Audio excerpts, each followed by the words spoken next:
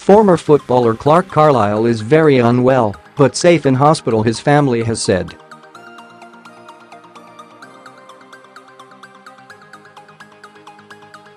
The 37-year-old was found in Liverpool on Friday evening after being reported missing amid concerns over his well-being.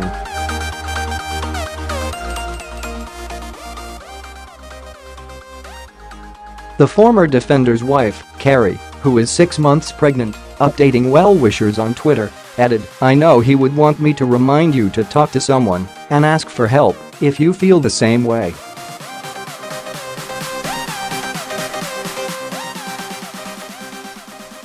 The former Professional Footballers Association chairman, who made more than 500 appearances for nine clubs during his playing career, has a history of mental illness.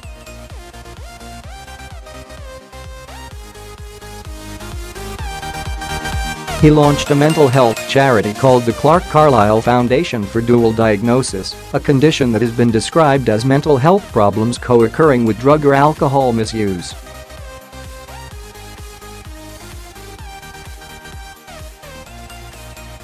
The father of three, who played in the Premier League for Burnley and Watford, remarried earlier this year and has worked to raise awareness of mental health issues.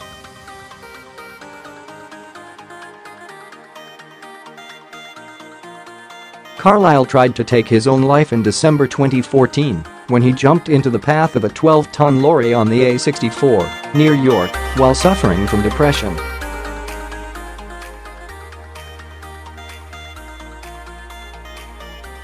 Shortly after the suicide attempt, his marriage to ex-wife Gemma broke down. Carlisle, who has publicly struggled with depression, said the scars he still bears from his suicide attempt are a constant reminder of his good fortune in surviving.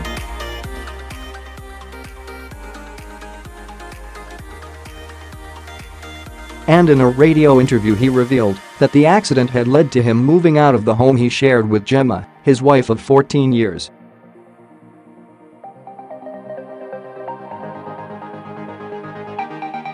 The sportsman would later tell Talksport Radio, at this point, Gemma and I have separated.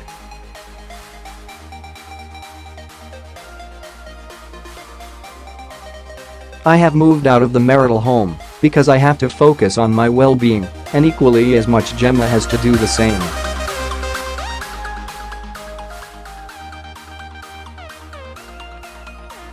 She has to deal with her experiences and the effect that has had on her. Asked about how his then wife Gemma has taken it, he added, every day has been incredibly tough and different.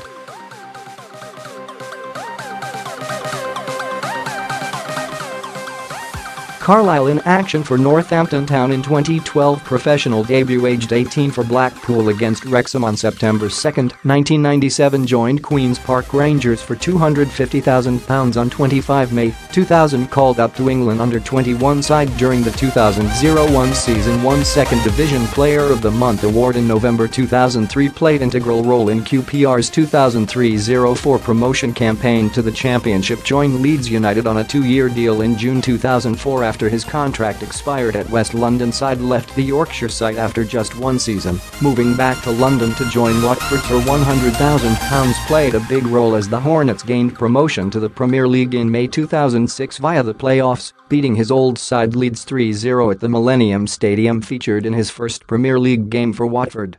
On April 9, 2007 in a 4-2 win against Portsmouth named man of the match in FA Cup semi-final against Manchester United on April 14, 2007, but that wasn't enough to stop his side comfortably losing 4-1 following Watford's relegation at the end of that season. He joined Burnley for £200,000 won promotion to the Premier League again this time with the Clarets in May 2009 on November 17, 2010 Carlisle was named as the chairman of the Professional Footballers Association replacing Chris Powell joined Preston North End on loan for the duration of 2011-12 season spent the remainder of the season at Northampton after his spell at Preston was cut short rejoined Northampton on loan until January 2013 before penning permanent deal on May 23, 2013 Carlisle announced his retirement from professional football ambassador for Premier League and Kick It Out, which campaigns for inclusion and equality in football co-commentator for ITV Sport on Europa League and FA Cup games overall won three caps for England under 21 side.